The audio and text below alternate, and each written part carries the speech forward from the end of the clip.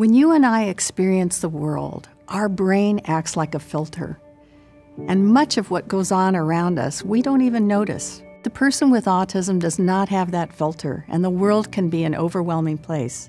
For them, the social world can be very confusing, and this can lead them to withdraw from social interaction or just not pay attention to it. When a parent is concerned about autism and brings those concerns to a pediatrician, currently the pediatrician uses a simple questionnaire to screen for whether the child is showing autism symptoms. And that's a good start. But unfortunately, that questionnaire overdiagnoses autism and leads to needless concerns on the part of parents. Could we come up with a way that a computer could detect whether the child is displaying autism symptoms? When we started working in this area, our first goal was to put cameras inside a clinic that was actually already trying to screen and diagnose for autism in this particular case. And we slowly learned that it was a very challenging task. We realized, together with our colleagues at, at Duke, uh, particularly in, the, in Duke Health, that the only way to scale up and to have technology that will give access to everybody is to develop an app.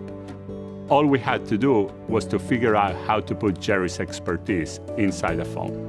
In order to develop an app that could tell us whether a child is showing autism symptoms, we designed a set of videos that would elicit different behaviors that we know are important for diagnosing autism. One of the videos is a woman who's singing nursery rhymes. Now, a typical child, when they're watching that video, will start smiling, and they'll often turn around and look at their parent and share that experience with their parent. Now, the child with autism typically doesn't smile, and they often don't share that experience. Another example is a little puppet video, and there's certain events that happen in the interaction between the puppets that typical children find very interesting. During one of the videos, the examiner who's in the room calls a child's name. Now, a typical child will tend to turn around and look at the person who's called their name. Remarkably, the computer in the iPhone or iPad can detect that change in where the child's looking, and they can even tell us how quickly the child looked. And these subtle differences are really important indicators of risk for autism. Given an image of a face, we first detect the face, and then from there we use machine learning algorithms and computer vision algorithms to detect landmarks around the face. And from there, we're able to look at expressions like surprised, happy, joy, fearful.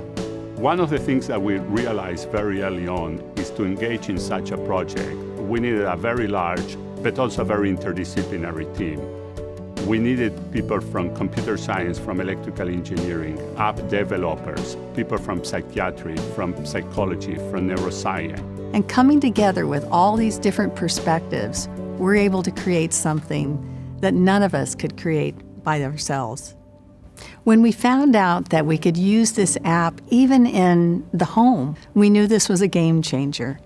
This means that we could potentially screen for autism even in areas where they don't have access to a trained professional, meaning that many more children throughout the world will have access to early intervention. We're very excited about the results of our first two studies. We were very happy to find that pediatricians found it easy to use, parents were receptive to using it, and most importantly, the children did respond differently to the videos depending on whether they had autism or not. I don't think this great challenge could have happened at any other place but Duke University.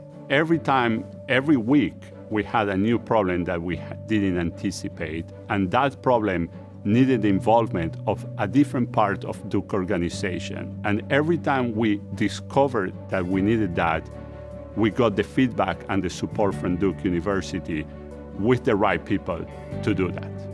The, the great support we got at Duke University went all the way up to Apple, including Jeff Williams, an alum from Duke, who is currently the COO of Apple. When many people think about autism, uh, they focus on uh, the impairments that go along with autism, and that's difficulties in interacting socially, communicating. What I like to think about is the amazing potential and gifts and talents of people with autism. And what excites me about my job is to help each individual with autism reach their full potential and to be able to use those talents to make our world a better place. And that's the kind of work that's occurring here at Duke. Not just a tiny step forward, but something that completely changes the way that we view the world and the way that we can help people and improve their lives.